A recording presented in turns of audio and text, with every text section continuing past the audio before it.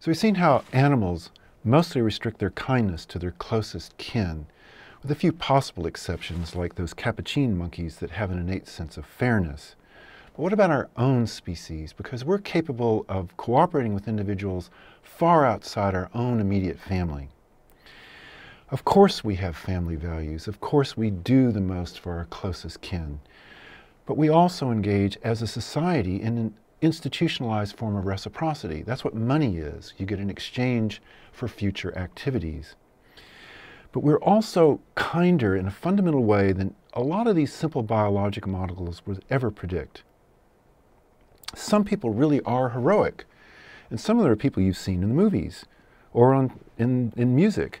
Garth Brooks, for example, raced inside a burning house to rescue two boys who were home alone.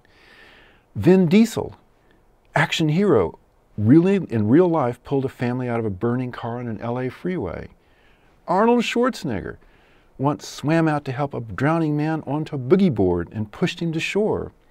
Kate Winslet saved a 90 year old woman from a house fire caused by a lightning strike. I mean, these not close relatives, these are real cases of altruism. It is innate, it seems, because it is such a widespread human behavior to respond to a crisis in others. We saw it at the World Trade Center after 9 11, where the firemen, the policemen were so heroic in trying to rescue people. It seems to run very, very deep in our nature. We see it not just in the US, but all over the world after earthquakes in Mexico City, in Turkey, Iran, Taiwan people go out of their way to help people, to rescue them. It's so deep within our psyches to do so.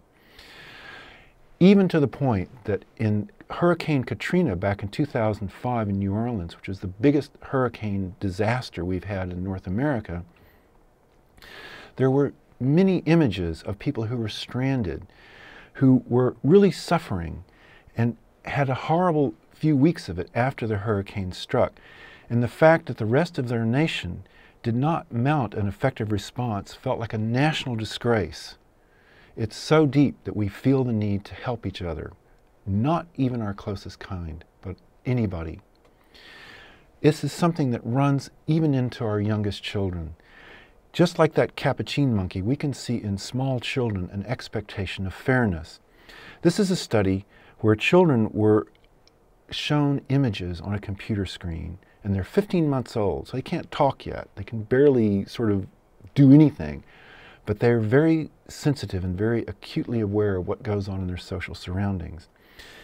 They're shown movies that hide the distribution of cookies, so these are the treats that they're going to see being distributed. And so what they're seeing is first an image of a woman who is about to distribute cookies to two other women. But the child is not allowed to see how this is actually distributed. All the child can see is that, oh, that woman must be giving cookies to these other two women, and then the task is over. Okay? So then the, what happens depends on how the cookies are distributed to these two recipients. And so if the child sees that one, for some reason, got three cookies, whereas the other only got one, that's, we would say, is an unfair distribution. And this is fair, two and two. So the child is shown a slide with either an unfair or an unequal outcome or a fair outcome. And they stare longer at the unfair outcome. I mean, this is the way the world is supposed to work. Everything is fair. So it's like, yeah, okay, that's right. But they stare a long time. Oh, no, that can't be right. That can't be right. And it's interesting because they only do that when there are people involved. If you do the same experiment, but you remove the images of these two women, so all they see is somebody putting cookies on a plate, they don't care. There's nothing more interesting about three versus one than there is two against two. So the kids have an innate sense of fairness as it happens to affect other people within their society. We have a deep sense of fairness. So human kindness is in our nature and it's what truly distinguishes us from the animals. Part of it may be our higher levels of cognition, but I suspect there's something else. And this is a topic we'll look at again in much greater detail later in the course.